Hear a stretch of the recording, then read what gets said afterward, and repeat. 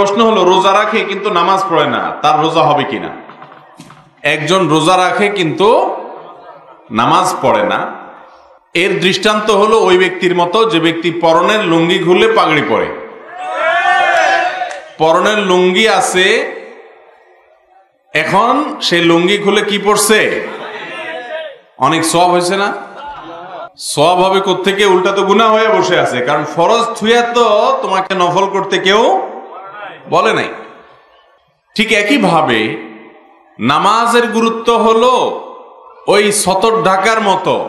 এটার গুরুত্ব সবচেয়ে বেশি। রোজার গুরুত্ব বেশি না নামাজের গুরুত্ব বেশি? আমাদের দেশে রোজাদারের সংখ্যা বেশি না নামাজের সংখ্যা বেশি?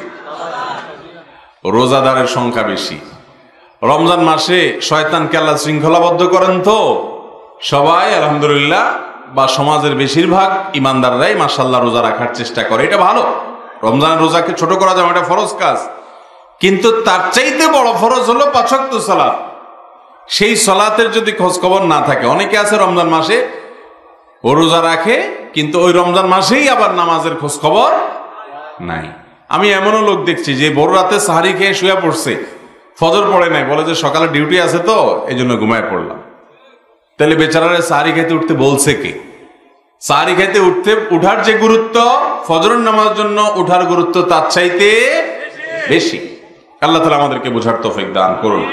অতএব, যদি কেউ রমজান মাসে রোজা রাখে, তিনি ভালো কাজ করছেন। রোজা তো রাখতেই হবে মুসলমান, প্রাপ্তবয়স্ক, পুরুষকে, সুস্থ মানুষকে। কিন্তু রোজা রাখলেন, নামাজ পড়লেন না। তাহলে কম গুরুত্বেরটা করলেন, বেশি গুরুত্বটা কি করলেন? ছাড়লেন। রোজা রাখাও ফরজ, নামাজ পড়াও ফরজ, বরং এটা বেশি বড় ফরজ। এরপরে প্রশ্ন হলো, শিশুর আকিকা সাত দিনে দেওয়া হয় নাই, এখন কি পরে দিলে হবে? শিশুর আকিকা সপ্তম দিনে করা সুন্না সপ্তম দিনে, সাত দিন পর না কিন্তু, সপ্তম দিন আর সাত দিন পর বেশ কম আছে কিন্তু। শিশু যেই বারে জন্মগ্রহণ করবে, ওই বার হবে প্রথম দিন। ধরেন শনিবারে জন্মগ্রহণ করেছে, তাহলে শনি হবে প্রথম, রবিবার হবে দ্বিতীয়, সোমবার হবে তৃতীয়, মঙ্গলবার হবে চতুর্থ, বুধবার হবে পঞ্চম, বৃহস্পতিবার হবে ষষ্ঠ, জুমার দিন হবে সপ্তম। তার মানে সন্তান যেই বারে জন্মগ্রহণ করবে, তার আগের বারে সপ্তম দিন হয়। শনিবারে হলে শুক্রবার হবে, শুক্রবার হলে বৃহস্পতিবার হবে। আকিকা সপ্তম দিনে করা সুন্নত। সপ্তম দিনে করতে না পারলে চোদ্দতম দিন নম্বর দিনে করবেন। চোদ্দ নম্বর দিনে করতে না পারলে একুশ নম্বর দিনে করবেন। যদি কোনো কারণে এই দিনগুলোতে করা হয় নাই, মা বাবার সে আর্থিক সঙ্গতি ছিল না, তখন তারা করতে পারেন নাই। তাহলে সেক্ষেত্রে পরবর্তীতে করলেও আদায় হয়ে যাবে। এরপরে প্রশ্ন এক বিধবা নারীর পুরুষ অভিভাবক নেই, বোন আছে। অভিভাবক হিসাবে এখন বোনরা বিবাহ দিতে পারবেন কি?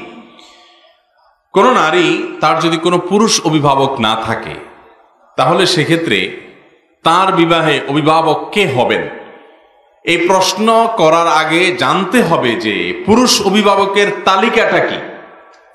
পুরুষ অভিভাবকের তালিকা হলো যে নিজের বাবা তিনি হলেন সবচেয়ে বড় অভিভাবক। তিনি বেঁচে থাকলে আর কেউ অভিভাবক হবে না, তিনি নিজেই অভিভাবক হবেন।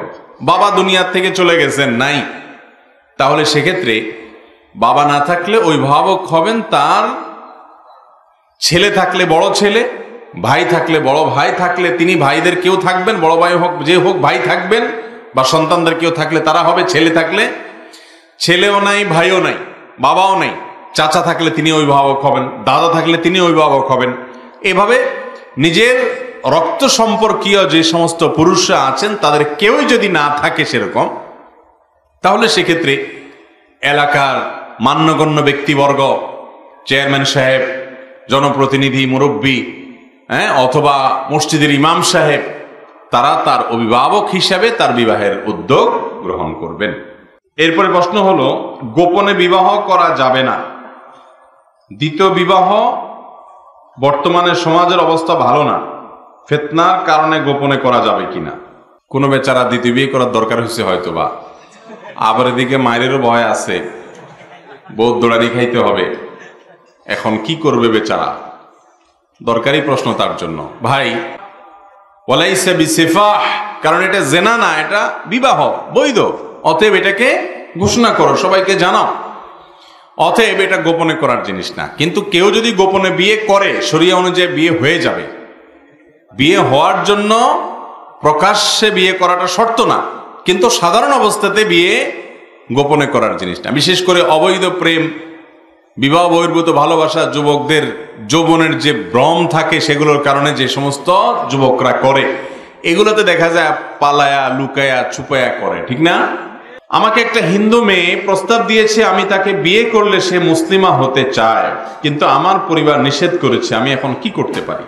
কোনো অন্য ধর্মাবলম্বী মেয়ে, সে যদি ইসলামে আসে, তাহলে তাকে বিবাহ করতে আর কোনো অসুবিধা নাই। শরিয়া দৃষ্টিকোণ থেকে কোনো নিষেধাজ্ঞা নাই।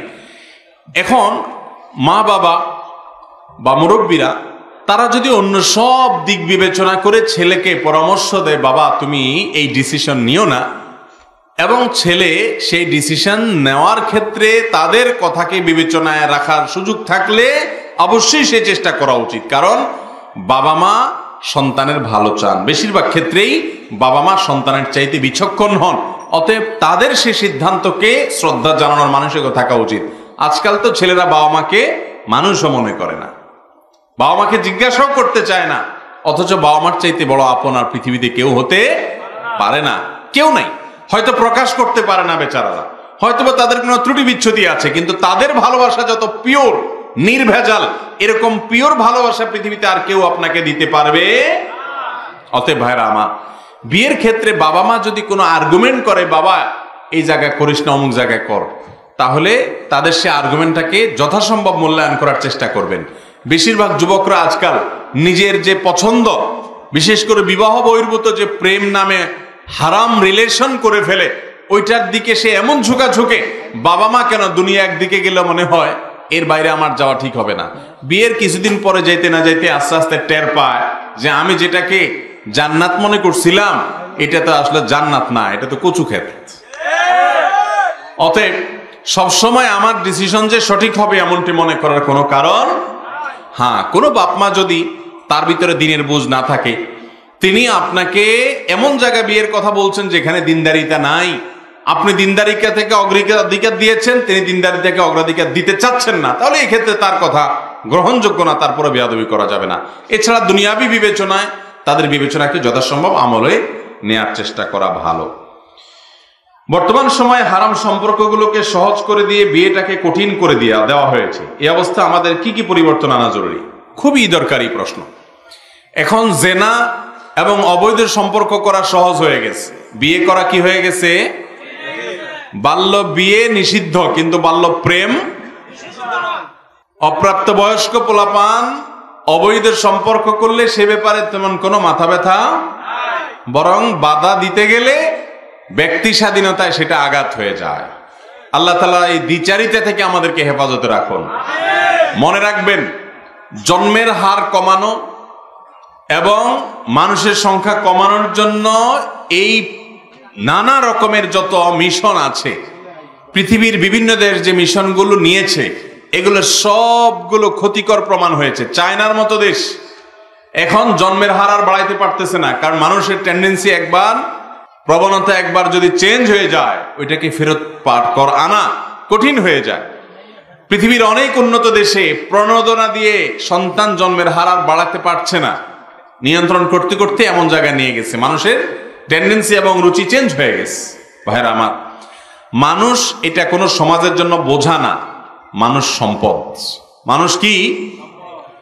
আমাদের দেশে একটা কথা আপনারা প্রায় শুনবেন, যে ছোট পরিবার সুখী পরিবার। শুনেন না আপনারা? ছোট পরিবার মানে ছেলে মেয়ে একটা বা দুটা বেশি না এরা সুখে আছে, তাই না?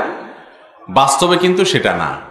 বেশিরভাগ দেখবেন আল্লাহ তালা যাদেরকে কয়েকটা ছেলে মেয়ে দিয়েছে, তারা তুলনামূলক ভালো থাকে। কারণ একটা, দুইটা যদি অমানুষও হয়, চার, পাঁচটা ছেলে মেয়ে থাকলে একটা না একটা কি হয়ে যায়? মানুষ হয়েই যায়।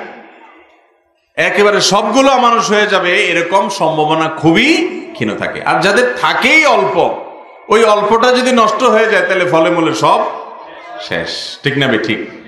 এই জন্য ভাইরা আমার বিবাহের বিষয়টিকে সহজ করা উচিত। অভিভাবকরা তাদের ছেলে মেয়েদেরকে বিয়ের উপযুক্ত হলে বিলম্ব না করে বিয়ে দিবেন। নবী করিম সাল্লাম বলেছেন, যদি না দেন, তাহলে পৃথিবীতে নানান ফ্যাসাদ তৈরি হবে, ব্যত্যয় তৈরি হবে, জেনা ব্যবচার বেড়ে যাবে। আল্লাহ আমাদেরকে বোঝার তফিক দান করুন।